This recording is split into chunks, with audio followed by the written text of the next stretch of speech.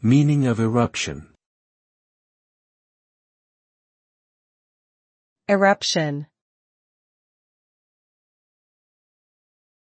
Irruption.